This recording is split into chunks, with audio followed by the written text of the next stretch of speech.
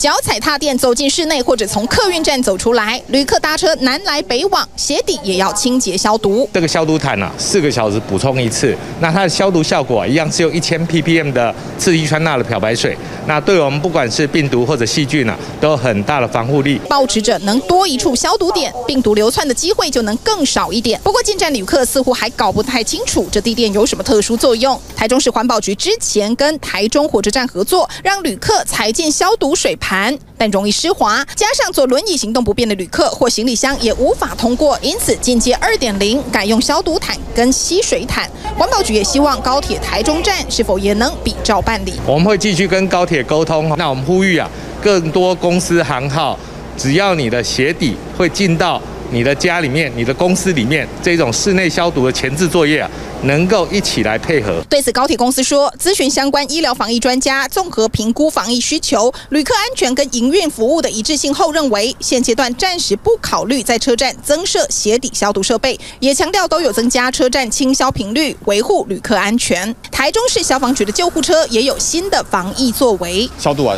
把氧气胶带拆完。然后之后紫外灯消毒完之后，还要再请同仁帮忙再做点养生胶带的动作。相较于之前，每一次结束任务后都得要拆除还有重贴这些塑胶布，现在台中市的救护车防护跟分舱也有二点零版，针对救护专车内部改装，现在装上了塑胶隔板，利用烟雾机实测气密情况。